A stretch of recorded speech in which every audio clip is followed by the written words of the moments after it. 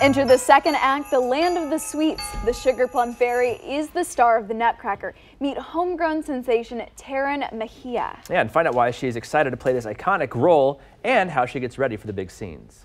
How has it been such an honor to be this role? When you think about being a ballerina, every little girl says, I'm the Sugar Plum Fairy, and they put on tutus. And so to get to grow up and actually do the role is me getting to live out that dream. Living out that dream has to be amazing, but it is also exhausting. And these men and women are in such excellent shape, basically running a marathon dancing style. So how do you get ready for that? Each role is a little different. For Sugar Plum, I actually like to just rest my legs because there's a lot of cramping going on, especially in my calves. And so the more I'm standing and the more I'm working out, the harder it is for me to push. So with that role, I like to just calm everything down and the role slowly warms you up. For other parts like Rose, I like to get up and jog around a little bit before that one just because I need my heart rate up. And you're going through so many pairs of pointe shoes. How many exactly and how do you break a pair like that in? So this is a brand new pair and I, through the Nutcracker season, will go through about three or four a week.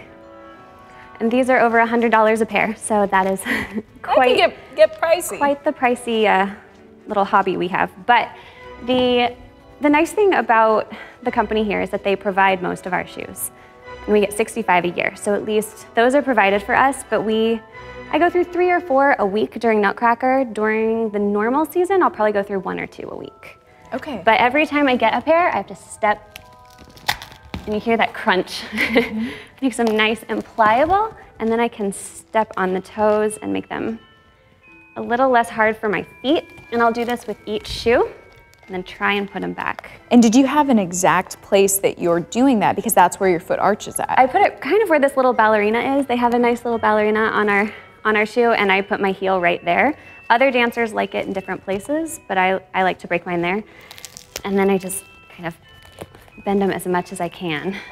A brand new pair of shoes brand that she is putting shoes. really through the wringer. I um, am. One thing I wanted to touch on is mm -hmm. clearly you've got a shank in there that's going to support some of your weight, yes. but that's when you're going solo. It's also different when you're doing a pas de deux. How so? It is. Um, so on my own, I can be tired one day or I can feel off balance. Some days you just come in and you don't quite feel like you can find your center.